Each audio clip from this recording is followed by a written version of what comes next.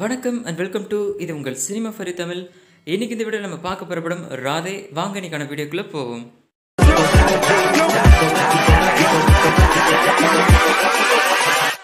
Hold up.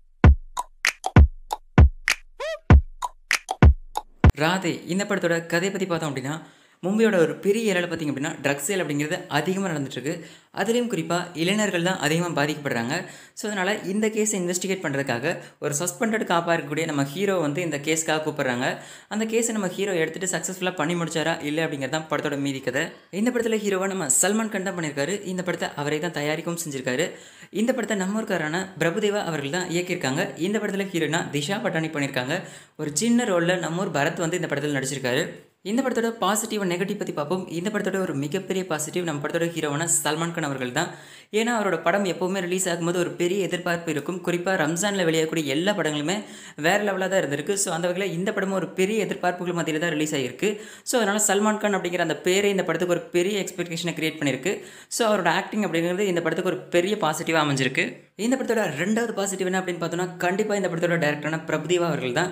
ஏன்னா இதுக்கு முன்னாடி சல்மான் கான் மற்றும் பிரபுதேவா இணைஞ்சிருந்த ரெண்டு படமுமே வேறு லெவல் கிட்டு ஸோ அதனால் இந்த படத்துக்கான எக்ஸ்பெக்டேஷன் அப்படிங்கிறது ரொம்பவே அதிகமாக இருக்குது ஸோ கண்டிப்பாக இந்த படத்துக்கு பிரபுதேவா அப்படிங்கிற பேர் வந்து ஒரு மிகப்பெரிய பாசிட்டிவாக அமைஞ்சிருக்கு. இந்த படத்தோட மூணாவது பாசிட்டிவ் என்ன அப்படின்னு பார்த்தோன்னா கண்டிப்பாக இந்த படத்தோட ஃபைட் சீக்வன்ஸ் தான். எப்போவுமே சல்மான் கான் படம் அப்படிங்கிறது வந்து ரொம்பவே ஒரு பெரிய ஆக்ஷன் பேக்கேஜ் தான் ரிலீஸ் ஆகும். அந்த வகையில் இந்த படமும் ஒரு ஆக்ஷன் மசாலா படமாக தான் ரிலீஸ் ஆயிருக்கு. ஸோ அந்த வகையில் இந்த படத்துக்கு ஆக்ஷன் சீன்ஸ் அப்படிங்கிறது ரொம்பவே பெரிய பாசிட்டிவாக அமைஞ்சிருக்கு. இந்த படத்தோட நெகட்டிவ்ஸ் பற்றி பார்ப்போம். இந்த படத்தில் அவ்வளோவா நெகட்டிவ்ஸ் இல்லைனாலும் இந்த படமே ஒரு மிகப்பெரிய நெகட்டிவாக தான் அமைஞ்சிருக்கு.